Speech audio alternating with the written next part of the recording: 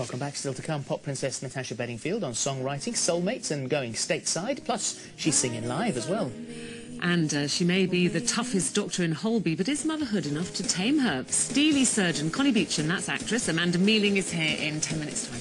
First, though, we're back with Dr. Chris uh, discussing genetic testing along with Dr. Paul Jenkins, who'll be revealing Chris's results, and Sandy Warner, who took the test earlier this year. Paul, I'd like to start with you, actually. Um, what is the test? How does it work? Why should I take it? Um, it's a very simple test, which is looking at your, your body's DNA.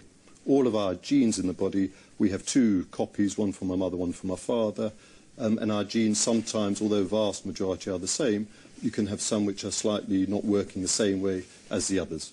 Um, and this test allows you, to, for the first time, to determine your genetic predisposition to those most common diseases which affect us later on in life. And why would I want to know that?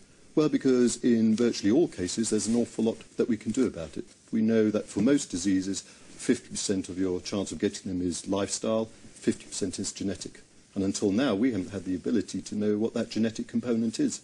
And if you do know it, you can take your steps in your lifestyle to minimise your overall, um, overall risk. So when if I if I was to decide, and I, I'm talking to Chris about this, I'd wrestle with this. Or more normally, if there's anything on offer, I think, oh, I'll have a go. I'll blow down that, test my lungs. I'll, oh yes, prick the finger, test my blood sugar, whatever. I'll do any of that. And I, this one, I thought, oh God, I don't know whether I want to know. Um, well, if, if, someone decided they did want to know, uh, apart from the fact it's about 800, 825 pounds, um, they're sent a, a form and some swabs. Well, we speak to them first and, and ensure that they have all the information they need. They have given a detailed um, information sheet and a consent form, and if they're then happy with it and have understood the implications, they're then sent a simple swab. You swab the inside of each. There's you swabbing the inside of your Yeah, there we are, yeah. yeah. And that's all it is, just swab the inside of your mouth, Yep. fill out the form and send it back. How long does it take before you get the results? About two to three weeks. And then after that, you then have a consultation with either myself or one of our say, other what, consultants. What, what, happens if, if somebody has that test and you find out something not very nice? Hmm. Is there some backup, some counselling or advice that you offer by phone? No, no, no, in No? person. Right. So we're the only company that actually offers that medical uh, Yeah. follow-up, which we believe is essential. You know, m- my father has Alzheimer's, so I'm not sure I want to know because I maybe am genetically uh, prone to having it, and there was really very little I could do about it. So I think I would rather not know. What about something like Alzheimer's that people can't change or can't do anything about? Absolutely, and I, sh I share that concern, and that's why for Alzheimer's we ask people to specifically consent separately for that, that they're aware of the implications, that there probably at the moment isn't too much that we can do about Yeah. it. But for all of the other diseases that we um, look for, there's an awful lot that you can do. Right, Chris, you've got your results. Yes, this is from. And you were nervous getting them as well, weren't Uh, you? no, uh, well, I- I mean, I, I, didn't think twice about it. I thought, yes, I'll go for that, definitely. And I'd like to know if I was at high risk of Alzheimer's. I know I can't do a thing about it, but I can put my affairs in order. And I'd like to know if I'm at risk of heart disease, high blood pressure, cholesterol, cancers, etc. I mean, this is absolutely tremendous. And, yeah, uh, this is, you you got a report here, which is sort of 60 pages. And I'm sitting last night reading this, thinking these are my genes I'm reading about. It's it's very scientific indeed, but comes out with a very nice assessment at the end, telling you what sort of risk you're at. Now, for example, um, if I can just show this to camera, th this is showing my risk of osteoporosis and, and fracture. You see, I'm right down. See this end in the green. Now, just let me show you where my cancer risk is, because I am at increased risk of cancer.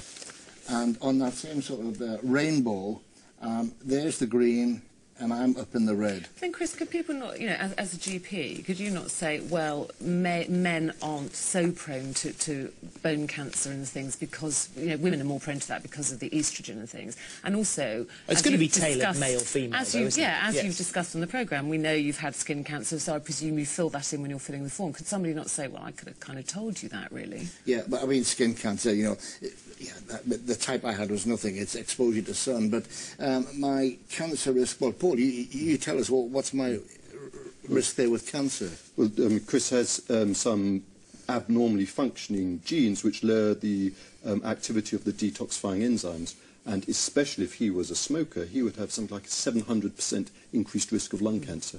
But now you know that. Yeah. What do you do now? Well, because I mean, I don't smoke, but I'm at increased risk of bowel cancer.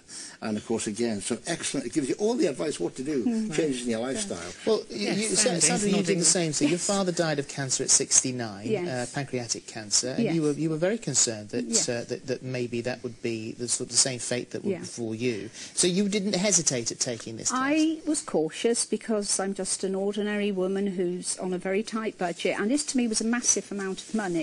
So I was very worried about, you know, what would the outcome be? Would it be worth that amount of money? But in actual fact, I can say this has liberated me. It's taken my worries away, and it is so easy to understand. What have you What have you found out? What, I what- found out that I shouldn't be taking HRT because I've got a higher risk for thrombosis. Uh-huh.